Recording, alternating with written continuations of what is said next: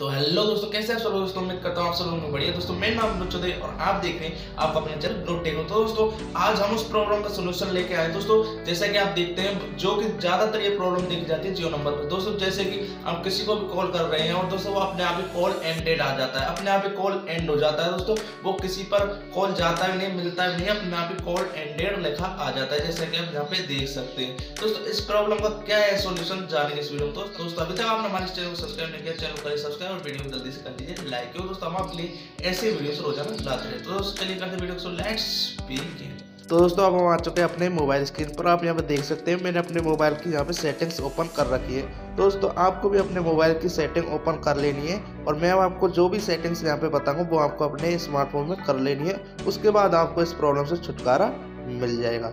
दोस्तों, सबसे पहले आपको सेटिंग्स में आना और यहाँ पे आपको नेटवर्क एंड इंटरनेट पर क्लिक करना है। दोस्तों, आपकी और भी ऑप्शन हो। दोस्तों, आप उन पे से सिम कार्ड और मोबाइल नेटवर्क ये कोई भी, कोई सा भी ऑप्शन हो, उस पर क्लिक कर देना है। उसके बाद आपको आना है मोबाइल नेटवर्क दोस्तों, आपको इन ऑप्शन पर आ जाना है। आपका किसी भी कंपनी का फ़ोन हो, आपको इन ऑप्शन को ढूंढ के इन पर आ जाना है। उसके बाद आपको सबसे पहले क्या करना है, आपको डेटा रोमिंग इसको कर देना है ऑन इसको दोस्तों ऑन कर देना है, क्योंकि आपकी जियो की सिम है।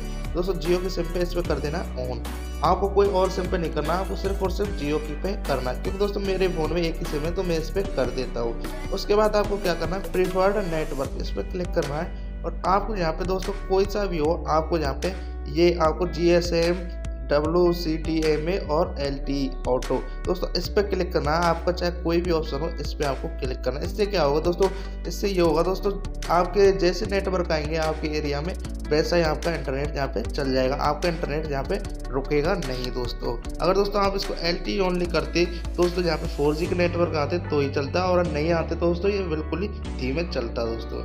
दोस्तों आपको आपको बैक आना है उसके बाद आपको क्या करना, आपको एक ऑप्शन और दिख रहा होगा यहाँ पे enhanced four G L mode इसको आपको ऑन करके रखना है दोस्तों, इससे आपकी बहुत ही वॉइस क्वालिटी बहुत ही बेस्ट हो जाती है आपकी वॉइस कॉलिंग की दोस्तों।